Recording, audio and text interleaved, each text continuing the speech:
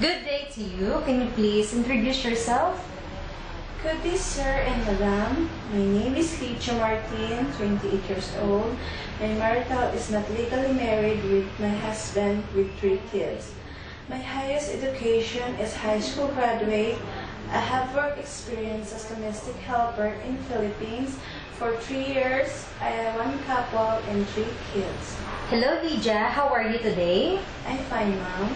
So why did you choose to work in Hong Kong?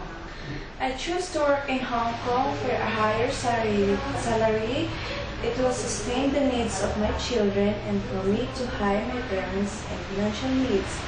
It is my dream to work in such a nice and good place. It will give me a greener pasture for the benefits of my family.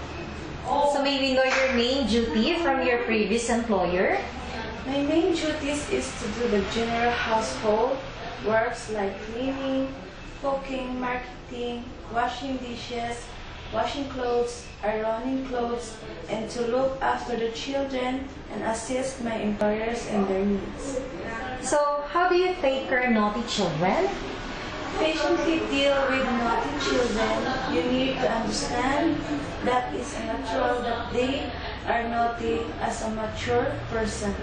You have to extend your patience and the only remedy is to keep them in safe anytime and anywhere. So what will you do if the kids don't like to eat the food that you prepare for them?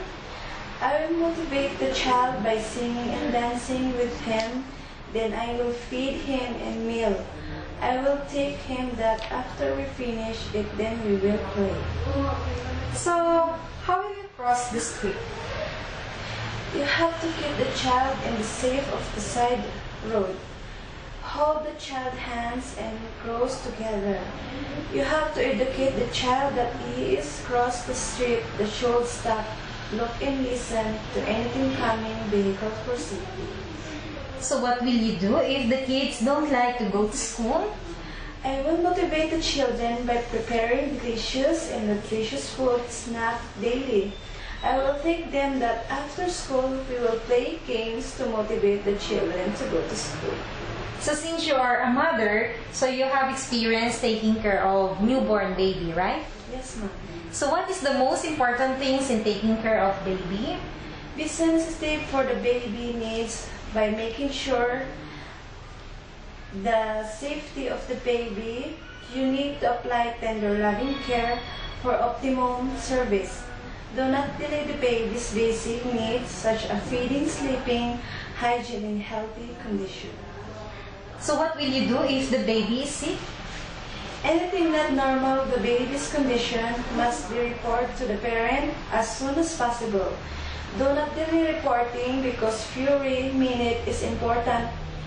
If I contact my employers, I have to seek help from the employer's media.